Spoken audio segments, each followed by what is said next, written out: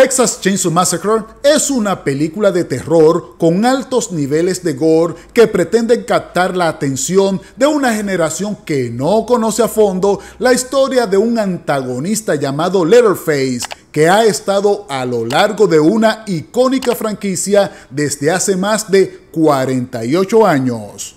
Con un marcado interés en solo destacar el morbo que despiertan las esperadas escenas sangrientas, esta película no se preocupa en cuidar la lógica argumental planteada en su guion, así como tampoco en cuidar el nivel interpretativo de su elenco. Luce como una producción hecha a la carrera, sin tiempo para madurar ideas que pudieron tener un mejor resultado.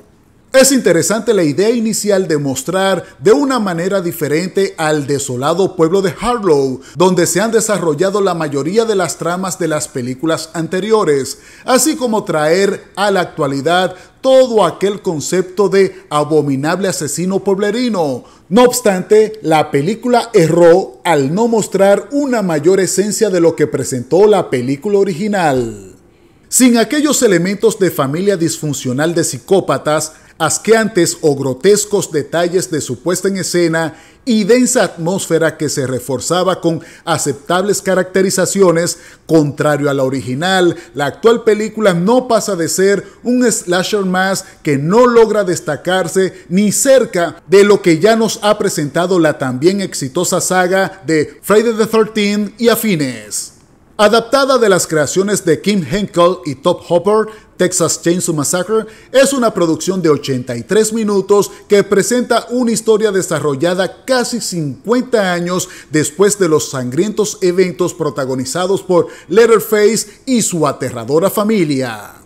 Mientras alguien espera vengarse de su doloroso pasado, un grupo de jóvenes idealistas y citadinos accidentalmente irrumpen la tranquila vida que tenía Letterface en un pueblo desolado, donde dará rienda suelta a su desenfrenada y descomunal naturaleza asesina.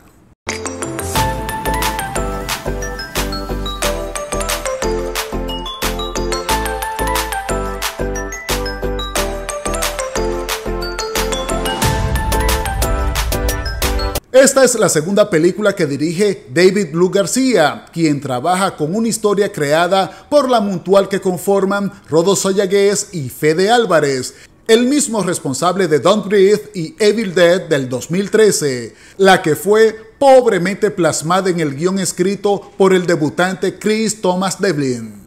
Con actuaciones muy cuestionables, el elenco de esta nueva historia de terror está compuesto por Sarah Jarkin, Elsie Fisher, Jacob Latimore, Nell Hudson, Moe Dunford y Mark Burnham, entre otros. Olsen Red y Alice Creek tienen cortas intervenciones con personajes que fueron totalmente desaprovechados en la trama.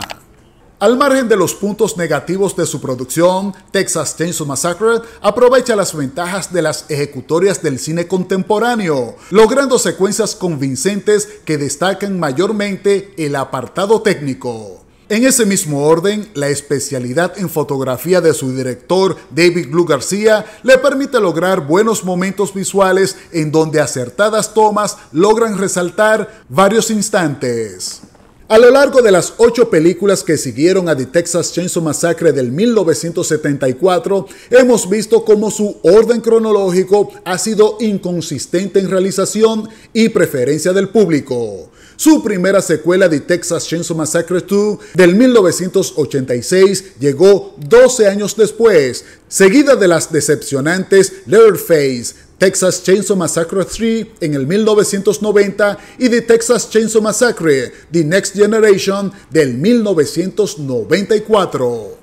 Las películas que le siguieron fueron The Texas Chainsaw Massacre del 2003, The Texas Chainsaw Massacre The Beginning en el 2006, Texas Chainsaw 3D del 2013 y Letterface del 2017. Netflix adquirió los derechos de esta película después de que Legendary Entertainment la produjera inicialmente para llevarla a salas de cine, contribuyendo a enriquecer el catálogo streaming con más producciones diseñadas para grandes estudios pese a sus pobres resultados. Con un presupuesto de producción estimado en 20 millones de dólares, la misma pretende ser un nuevo reinicio de la saga, cuyas secuelas, por lo menos hasta el momento de esta reseña, eran aún inciertos, aunque su sugestivo final es tan similar como el de la película del 1974.